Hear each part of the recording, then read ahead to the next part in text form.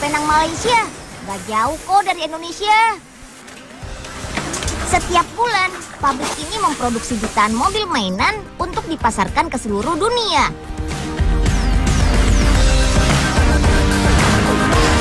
Bahan baku pembuatan mobil mainan ini adalah zinc alloy, yaitu campuran seng dengan beberapa logam lain sehingga menjadi mudah dicetak dan lebih kuat.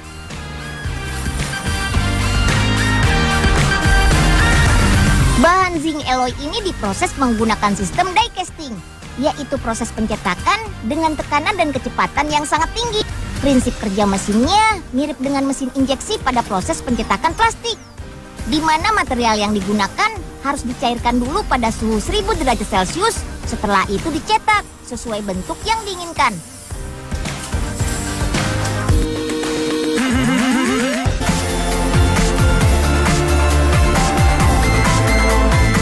Hitungan detik, material zinc alloy sudah tercetak membentuk bodi mobil berukuran mini. Bodi mobil yang bentuknya sempurna dikumpulkan dalam wadah khusus. Sedangkan produk gagal dan sisa-sisa material lain yang tidak terpakai dimasukkan kembali ke dalam mesin untuk dicetak ulang.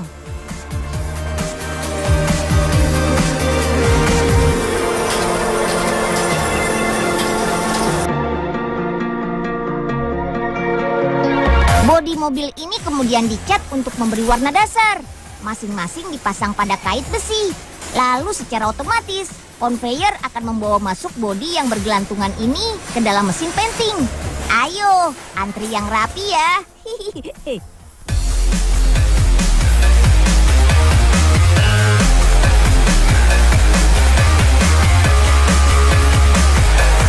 Setidaknya butuh ribuan kait besi untuk menggantung bodi Hot Wheels sebanyak ini. Di mana proses pemasangannya masih dilakukan manual supaya lebih teliti dan tidak ada satu kait pun yang terlewatkan.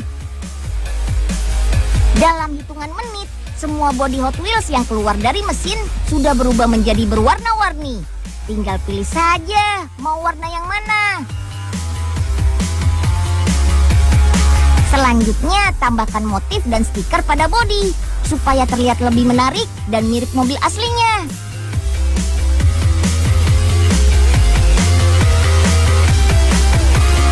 Masing-masing tipe mobil punya motif yang berbeda-beda. Karena itulah, setiap mesin pencetak motif ini hanya khusus digunakan untuk memproduksi satu tipe mobil saja.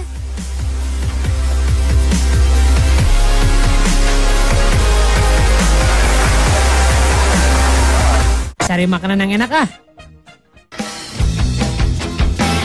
Setelah bagian bodi selesai, selanjutnya tinggal membuat bagian bawah atau sasis mobilnya. Kali ini, bahan yang digunakan adalah plastik.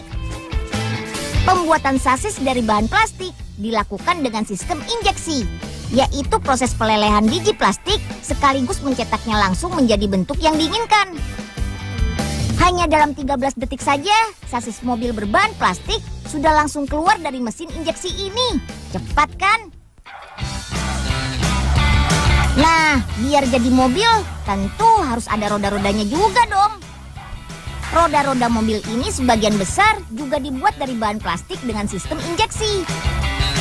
Warna, ukuran, dan model roda-roda disesuaikan dengan warna dan tipe mobil yang akan dibuat. Untuk tipe mobil off-road atau Bigfoot, ukuran rodanya bisa lebih besar dari roda-roda ini. Nah, Unyil mau pakai roda yang ini aja ah, biar kecil tapi kuat dan kencang. Ah, pasti kalah deh mobilnya Simbul. eh, oke, sudah cukup nih rodanya. Sekarang waktunya merakit mobilnya nih. Let's go. Proses perakitan mobil mainan ini masih dilakukan secara manual dengan bantuan mesin. Masing-masing pekerja akan merakit satu tipe mobil saja. Mulai dari memasang roda pada sasis, menyatukan sasis dengan bodi, sampai mengemasnya langsung ke dalam plastik mika.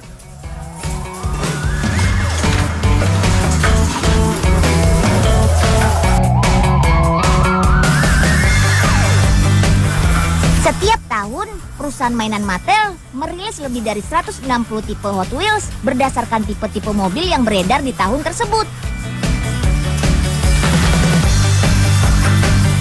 Semua produk yang dibuat di pabrik ini nantinya akan dipasarkan ke berbagai negara, termasuk Indonesia. Oke, sekarang kita uji kualitasnya yuk. Yang pertama, uji jarak tempuhnya dulu. Kira-kira mampu nggak ya mobil mainan ini sampai di ujung lintasan sana? Wih, ada yang berhasil tuh. Mobil yang sampai di ujung lintasan dinyatakan lolos uji. Sedangkan yang tidak sampai berarti produk gagal. Selanjutnya adalah drop test atau uji jatuh. Mobil yang kondisinya masih utuh setelah dijatuhkan dinyatakan lolos uji.